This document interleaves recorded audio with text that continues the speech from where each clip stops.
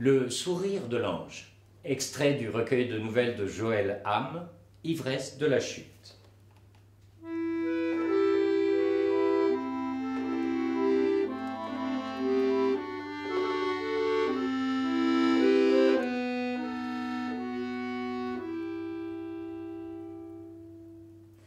Lettre à Lisa M. Extrait. Villa Médicis, Rome, lundi 19 novembre 2012.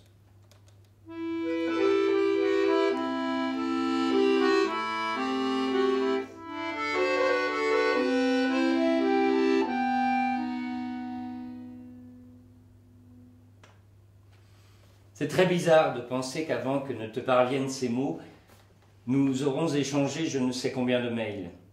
Oui, je sais, tu préfères dire courriel. Ici, la nuit tombe. Je contemple les lumières de Rome depuis les hauteurs du Pincio. Lisa, Lisa, nous voilà séparés pour la première fois, toi à Boston et moi à Rome, déjà lassés par l'ambiance de la villa. Je rêvais de ce séjour, mais parmi ce luxe, j'ai l'impression de trahir mes origines. Au fond de moi, je suis toujours ce gamin qui, à 15 ans, n'était jamais sorti de sa banlieue. Pourtant, quand la nuit croulait sous les étoiles, j'en avais les larmes aux yeux, comme ce soir en pensant à toi. La beauté me met en joie et me fait souvent oublier la cruauté du monde. Je détestais cette phrase rabâchée par ma mère. David, crois-moi, la beauté ne se mange pas en salade. Je lui répondais, on voit bien que tu n'y as jamais goûté. Tu me demandes d'où me vient cette attirance pour la beauté. Je ne sais pas, mais je me souviens de manière tout à fait précise de mes premiers véritables émois. C'était lors d'un voyage scolaire à Florence. Notre classe de troisième errait sans entrain dans la galerie des offices, guidée par deux profs déprimés de voir leurs élèves plus intéressés par les jolies visiteuses que par les œuvres exposées. Soudain, je l'ai vue. Elle était là, devant moi, son visage en pleine lumière, fragile et resplendissante. Un frisson m'a parcouru. Je l'ai admiré longtemps. Une main m'a touché l'épaule. J'ai sursauté. Le prof de dessin était revenu sur ses pas. Madone à l'enfant aux deux anges. J'avais envie qu'il s'en aille, mais il a continué. Réalisé en 1465 par Fra Filippo Lippi. Un sacré moine.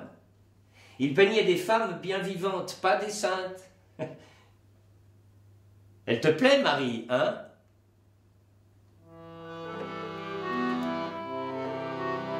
J'aurais voulu m'incorporer à la toile, rejoindre cette femme si présente, si lointaine, la toucher, l'embrasser. En garde à toi, Lisa. La beauté me rend fou.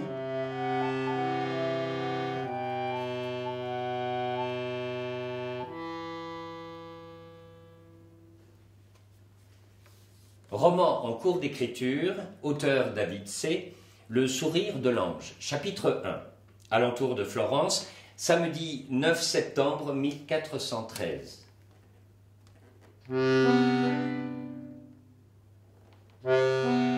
L'enfant se lève et, pieds nus, franchit le couloir d'allée qui mène à la chambre de sa mère. Il pousse la porte elle dort d'un sommeil de gisante. La pleine lune nimbe son profil d'un trait de lumière poudreuse.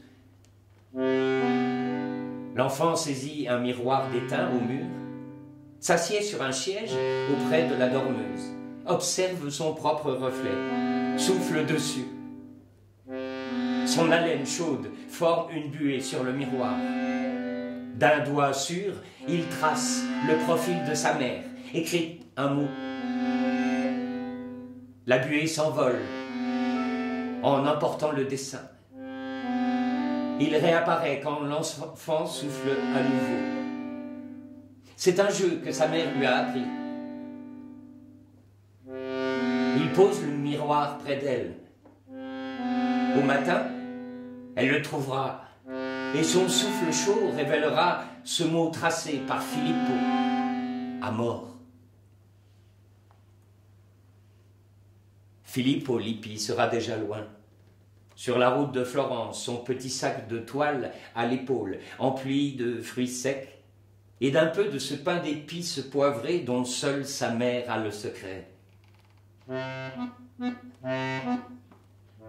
Dans ses poches, il emporte quelques brindilles de charbon de bois empruntées à l'âtre éteint, et une pierre rouge volée au peintre qui travaille à réparer la fresque de Giotto dans la chapelle Bardi de l'église Santa Croce, très, très haut sous la voûte. Chaque jour, il retourne là-bas. Il observe les artistes perchés sur leur échafaudage, frémissant au frôlement de leurs pinceaux sur la paroi. Une vibration sensuelle envahit son corps et son esprit. Il suit attentivement les mouvements d'un aide dont il admire l'aisance et la rapidité à répondre au peintre. Guido, du rouge. Il nous manque du rouge. Et du bleu aussi. Presto. Filippo s'approche, ouvre la bouche. Guido lui pose un doigt sur les lèvres. Il articule des syllabes muettes. Filippo le voit casser des œufs, beaucoup d'œufs, en séparant les blancs des jaunes, dont il retire le germe avant de presser délicatement leur enveloppe et de les faire tomber dans un creuset de porcelaine. Guido débouche un petit flacon, l'agite sous les narines de Filippo, qui, paupières closes, hume l'odeur pénétrante. Annonce Guido, tout en versant sur les jaunes cinq ou six gouttes de la précieuse essence. Il ajoute à ce mélange un peu d'un autre flacon et dit au travers de son sourire Gomme de cerisier. Ensuite, il bat les blancs d'œufs qui moussent très haut dans le bol. Il y plonge une éponge à large port, puis il l'exprime au-dessus des jaunes pour l'éclat des couleurs. Chuchote-t-il. Guido brasse l'ensemble. D'un pot de terre, il tire une cuillerée de poudre de cinabre rouge vermillon qu'il broie dans un creuset, en y ajoutant progressivement la préparation à l'œuf, jusqu'à ce qu'il obtienne une bonne densité de couleurs. Filippo sent brûler sa rétine comme un feu de paille.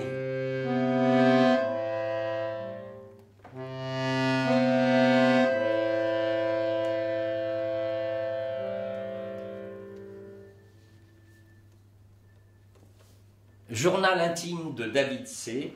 Florence, mercredi 19 décembre 2012.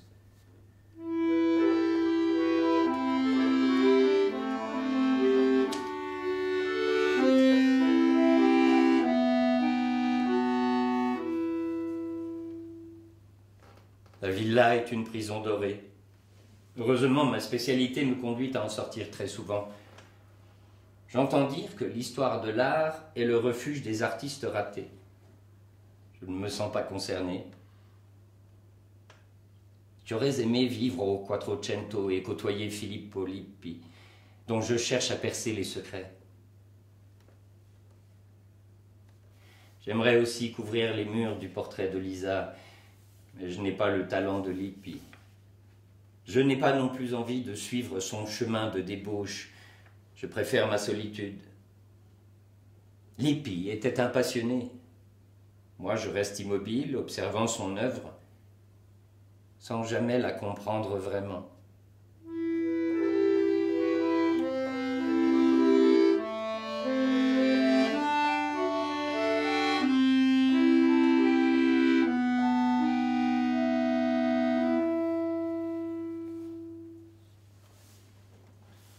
Le sourire de l'ange, roman, chapitre 3. Florence, mardi 2 mai 1414.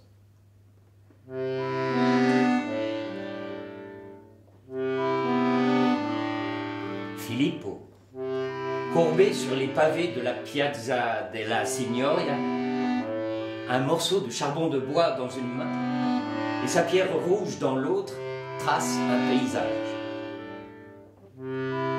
Il se redresse parfois et contemple son œuvre. Filippo dessine. Si des pièces teintent sur le pavé, il sait qu'il ne les doit qu'à son talent. Filippo entend le pas d'un cheval. Le cercle se rond autour de lui.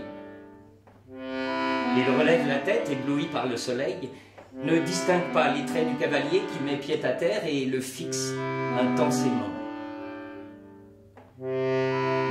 L'homme s'approche, un peu plus près de Filippo, qui, après l'avoir dévisagé un instant, se remet à dessiner, sans plus d'émotion. Le cavalier voit naître son propre visage dans la poussière de la place, barbe bien taillée, regard étrange de myope, lip hautaine. Son portrait sur le sol est si frappant qu'il en reste quoi. Le cavalier tente une pièce à Filippo qui scintille au soleil, une pièce d'or. Le jeune garçon fait ainsi la connaissance de Cosimo de Medici.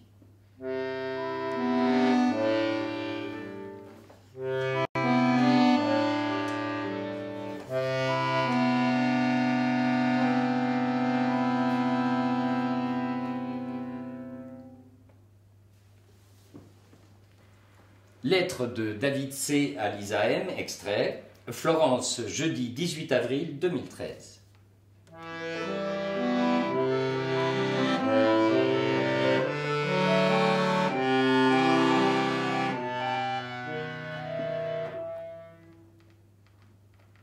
Ma Lisa, la nuit enfin, le silence, si difficile à supporter après ton coup de téléphone. Pourquoi faut-il que nous soyons toujours interrompus au bout de trois minutes de conversation? Tu me demandais où en sont mes recherches. Le directeur des offices, ce cher Giorgio, est longuement, s'est longuement entretenu avec moi. Il désapprouve mon intérêt excessif, à ses yeux, pour la vie privée de Lippi. Oublie ses frasques et étudie mieux ses fresques, m'a-t-il conseillé. Giorgio ne m'a pas convaincu.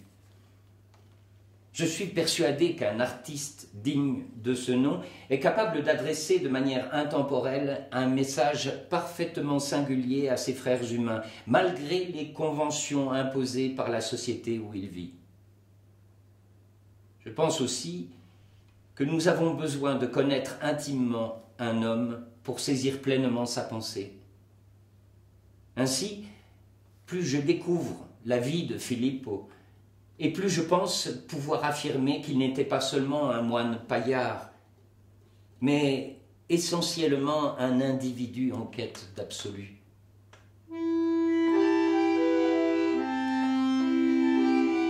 Un jour, je te raconterai l'histoire d'amour de Lucrezia et Filippo.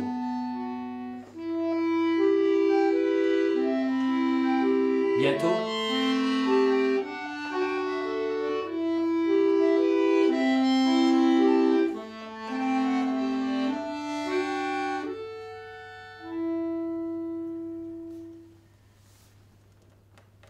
Le sourire de l'ange roman, chapitre 10, 1427, chapelle Brancacci, église Santa Maria del Carmine.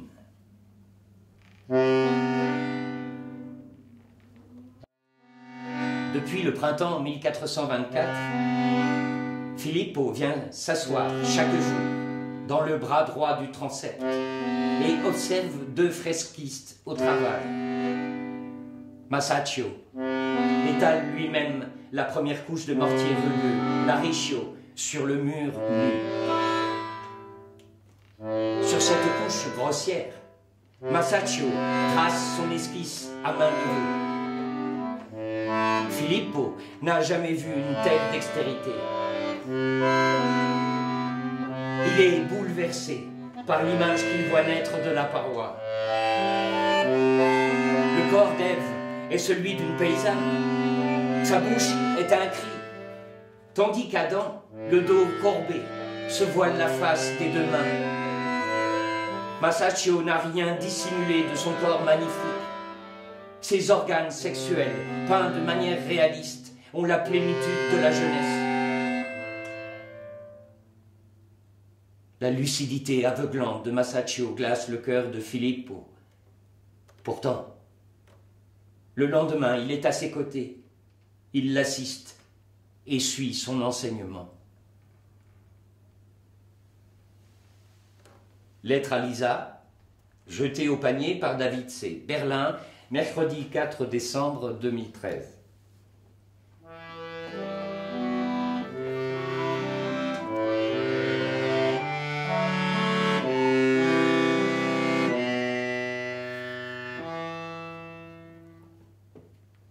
Quel triste voyage à Berlin sans toi. Tout me désolait. La Madone de la forêt m'attendait sur le marbre froid du laboratoire du musée. J'ai pu observer longuement le tableau en présence de l'administrateur et de Lorenzo, un biochimiste de la police scientifique italienne. Et oui, un flic. Il a prélevé quelques microparticules de matière sur le visage de la Vierge. L'essentiel du tableau a été peint à l'huile, une technique nouvelle à l'époque, mais Lippi a traité les parties visibles du corps de Marie à la tempéra.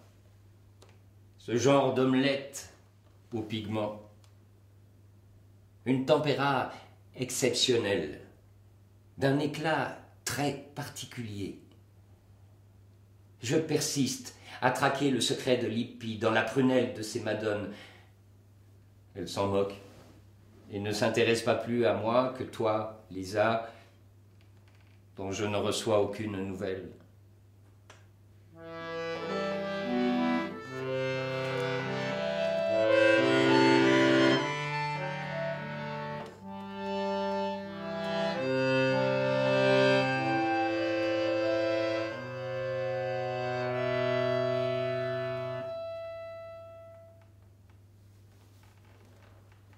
Sourire de l'ange, roman, dernier chapitre, lundi 9 octobre 1469, Spoleto.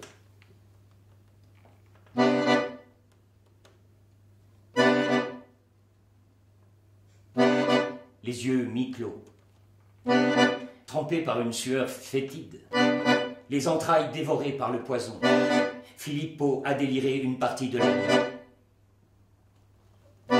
Il est calme et lucide. Personne ne le sauvera ni Lucrezia, sa femme, accourut à son chevet, ni son vieux protecteur Cosimo. Filippo Lippi, une fois de plus, n'a pas su résister à ses pulsions. La femme de son commanditaire était trop belle. Il le paie de sa vie. Il meurt à 63 ans. Et sa Salomé, continuera à danser éternellement au banquet d'Hérode, sur la fresque qu'il n'a pas fini de peindre, à la cathédrale Santo Stefano de Spoleto.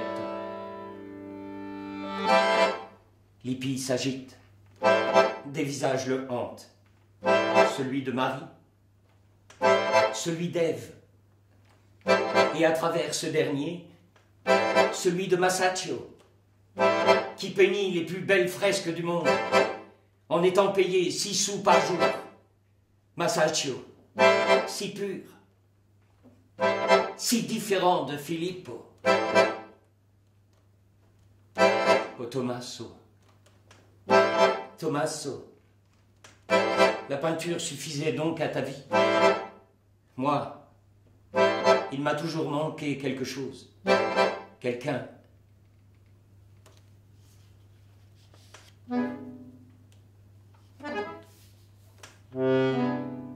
Lucrezia se penche sur Philippe. Elle entend son murmure s'éteindre dans un battement d'ailes.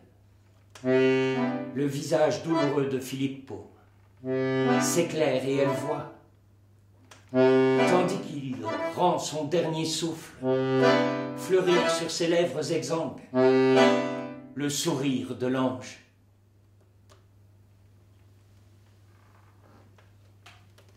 Lettre à Lisa, Spoleto, Ombrie, vendredi 20 décembre 2013.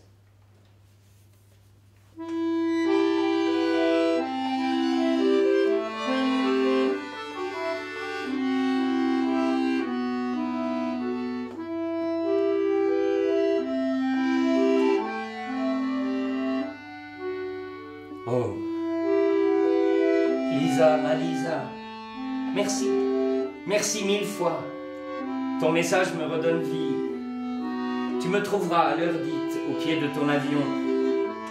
Un petit mois à attendre, ce n'est rien. Je suis heureux. Je tournais mal, fatigue, amertume.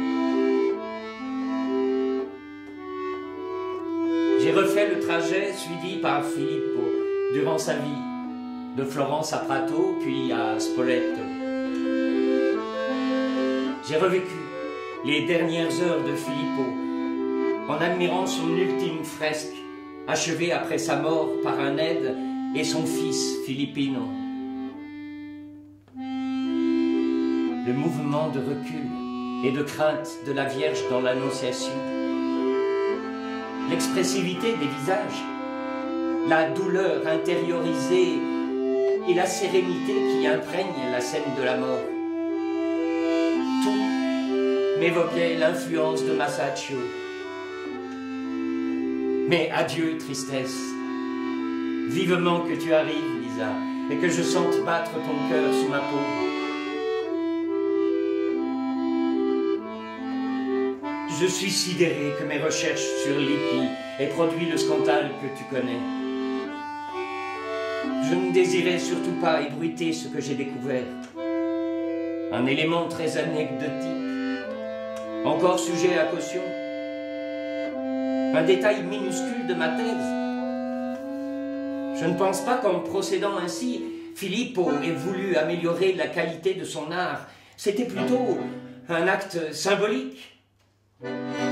Filippo était un mystique à sa manière, un être fasciné par le mystère et la puissance de la vie. Je l'imagine, concoctant sa préparation colorée dans le secret de sa loge, impatient d'imprégner l'étoile et les murs des cathédrales du meilleur de lui-même. Décidément, il existera toujours des petits malins à l'affût d'un coup médiatique, prêts à transformer le sublime en fait divers croustillants. J'imagine que ce vacarme médiatique, inutile et vain, amuserait Filippo. Il s'étonnerait sans doute du peu d'ouverture d'esprit de notre siècle et de la futilité de nos intérêts. Que nous importe en effet qu'il ait remplacé le blanc d'œuf de sa tempéra par son propre sperme pour peindre le visage de ces madones